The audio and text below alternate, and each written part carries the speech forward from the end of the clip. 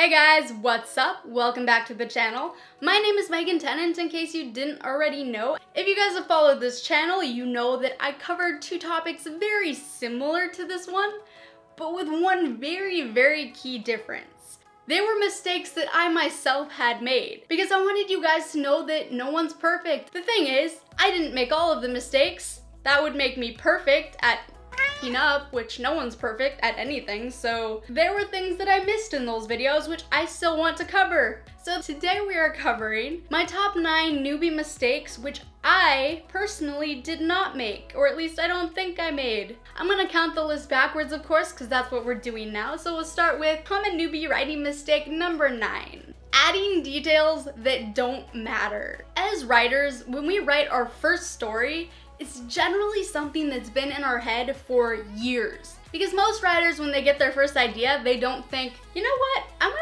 throw myself completely into this super stressful career path where making a living is gonna be a constant struggle and no one's gonna take me seriously until I make it. They don't do that. But that means that by the time we actually sit down and we start putting that story onto paper, it's been in our heads for a long time. Which means some scenes are more fleshed out than they need to be, and some characters have way more details tied to them than they should have. You might care a whole lot about how this character keeps running into these little dragons that are supposed to be oh. bad omens, and you think that's this really just neat little detail, and you wanted for so long to get it onto paper that of course course, you're gonna put it on paper. The thing is, any piece of information you include in your writing, your audience is going to assume is important in some way. Whether it be for character growth or plot or a key theme or something that's foreshadowing that's gonna come back later, they're gonna take that information, they're gonna catalog it in their brain unconsciously, and it's gonna be bouncing around in there.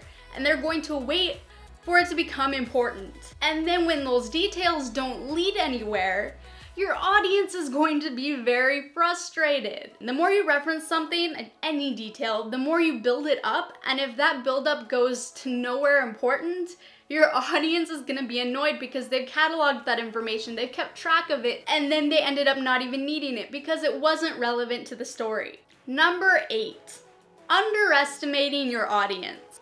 As writers, we often have this overwhelming fear that what if the audience just doesn't get it?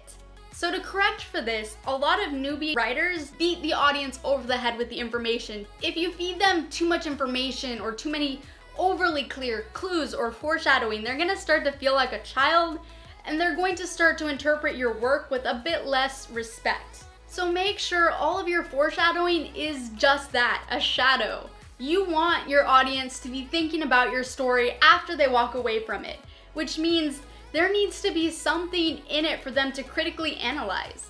So if you lay everything out plain as day in front of them, there's nothing for them to need to think about, and therefore, when they walk away, your story won't be in their head, which means they're unlikely to come back. Trust in them to be able to come to conclusions and make assumptions on their own. Beta readers and beta viewers are your best bet here because that's the best way to kind of know what assumptions and conclusions your target audience is drawing. And that way you can know if you need to give a little more information or a little less. Number seven, under describing. And this happens most commonly in visuals, specifically in books. And that's because sometimes these new writers tend to forget that the audience is coming in blind. You may have had these locations in your head for years and you see them plain as day, but your audience doesn't. But still, in a lot of debut novels, you'll see characters arrive at a new location and we get one line or sometimes two lines describing the location, which isn't enough for us as readers to picture it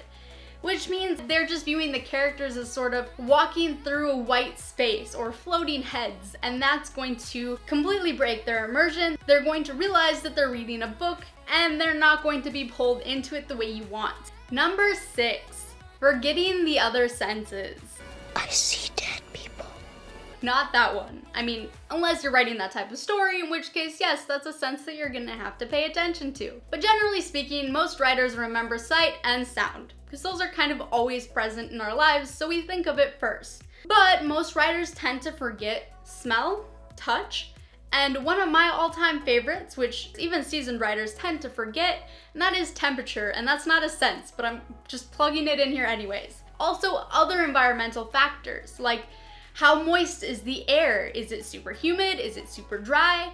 Pressure. Are they on top of a mountain for the first time? If they are, it's gonna feel kind of light. Your audience will feel much more tied to your story if you give them information that ties to all of their senses. Plus, it gives them just key details about the world. Is winter coming? That's something that could be very relevant to your story later on. So have your character get a chill every once in a while just to remind your audience that winter is coming. Number five, forgetting injuries. You'll have a character who gets a cracked rib, and then a day later, within the context of the story, which is actually quite a few scenes later, that character laughs and they don't even flinch and there's no description of the pain. Any type of lasting effect on your character, injury, drunkenness, grief, write it down. Write down where it happened. If you have your entire story planned out, you can write down how long it's going to last so you know when to stop describing it. If you don't have it planned out, then just check back on the list every time you go to write more. But keep track of any sort of lasting effect. Number four,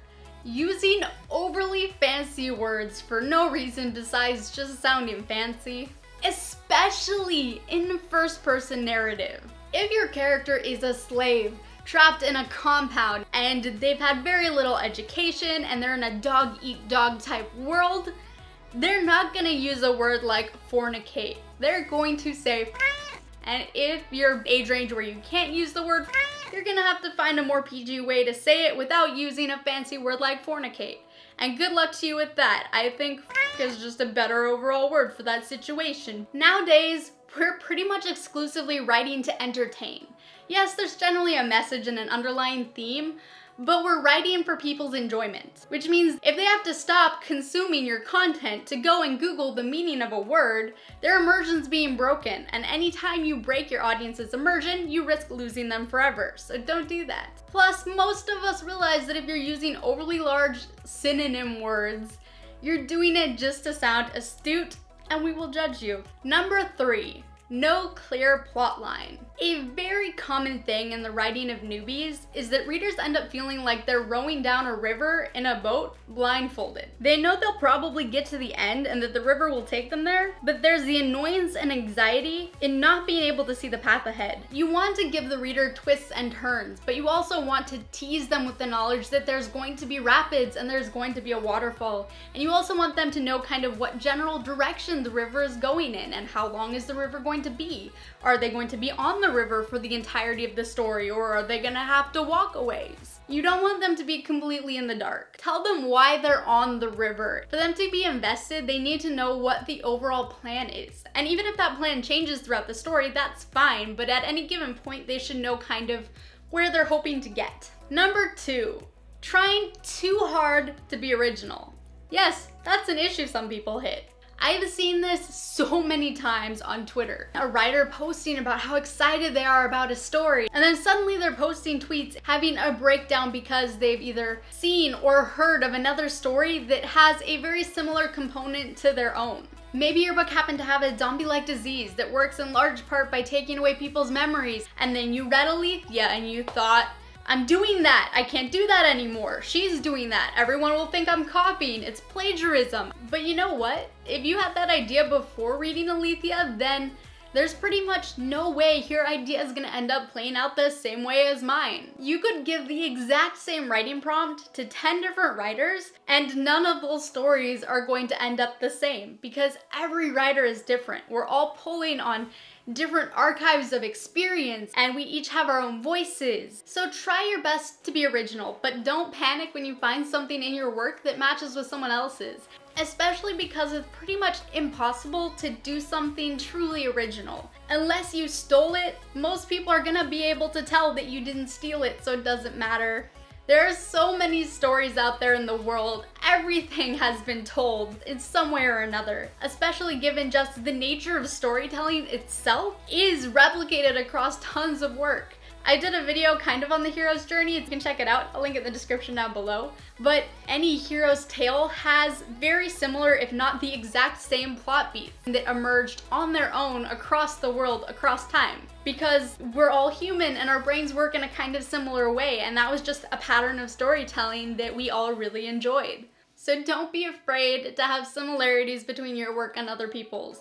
And last but not least, number one common newbie mistake, self-plug or wish fulfillment characters little bits of ourselves are gonna find their way into everything we write. But there's a difference between a character that shares a couple traits with you and a character that's a self-plug or wish fulfillment character. 736 in Aletheia has red hair. I dye my hair red because I love it. So that's kind of a wish fulfillment thing. She wears mismatched socks. Her reasoning is completely different than mine. I wear it because I think it's fun. Also, you can never lose a left pair of a sock if you don't have pairs. You just grab whatever socks you have. But that is another similarity that found its way into her. And she loves abandoned, broken down places. She loves the ruins. And she's also very curious. So little bits of me shine through in her but she's also vastly different. And bits of me shine through in all of my characters. I'd say that my mindset actually probably most closely matches Rose. And then we have Arsene, where Arsene's almost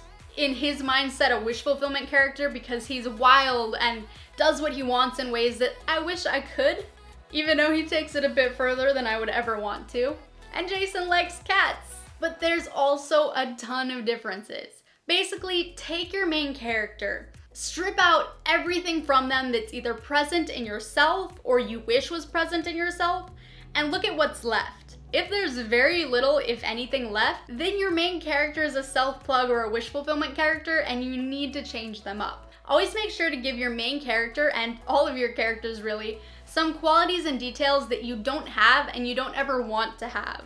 For example, I fucking hate birds. I think birds are dumb. I'm not a big fan of fish either, but birds and fish are pretty much on the same level of dumb for me. I like mammals, everything else. But 736 loves birds because it makes sense for her character to like birds. So just give them components that are very clearly not you, especially if you're the type of writer who has a social media presence. The more your audience knows you, the more it's gonna be obvious if your character is a self-plug. And that was it for the list. If any of these things stung because they're things that you've been doing, then go feel better by watching my other two videos, which were mistakes that I personally made. But even if you're doing every single one of these, remember the word common is in the title for a reason.